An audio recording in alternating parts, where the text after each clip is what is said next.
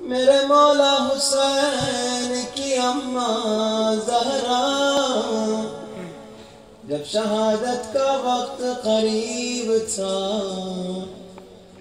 اپنی ننی بیٹی زینب کو کہتی ہے، بیٹا زینب، ایک صندوق لے کر آ۔ میں تمہیں کچھ دکھانا چاہتی ہوں۔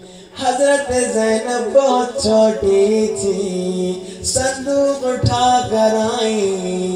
بی بی زہرا نے صندوق کھولا، ایک کفن نکالا۔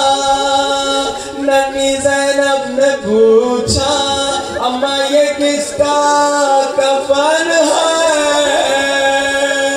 بی بی زہرا نے فرمایا، زینب یہ تیری ماں زہرا کا کفن ہے۔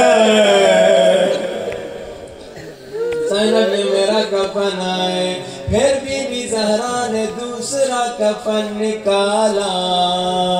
بی بی زینب نے پوچھا اماں یہ کس کا کفن ہے؟ بی بی زہرا نے کہا، زینب، جب ظالم تیرے بابا کے سر پہ ضربت مارے گا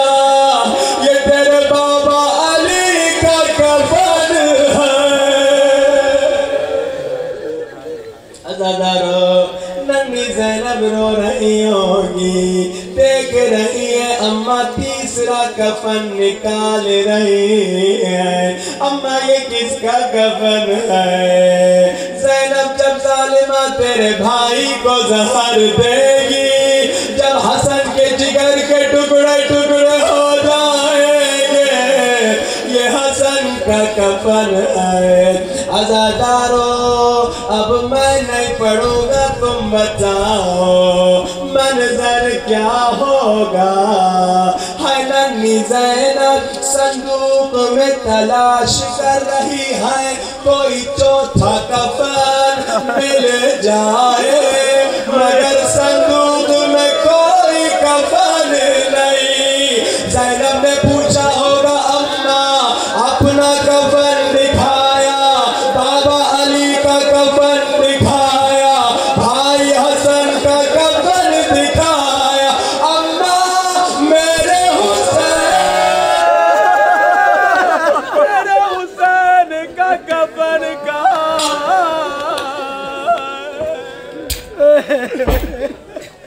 اماں میرے حسین کا گبن کہاں ہے؟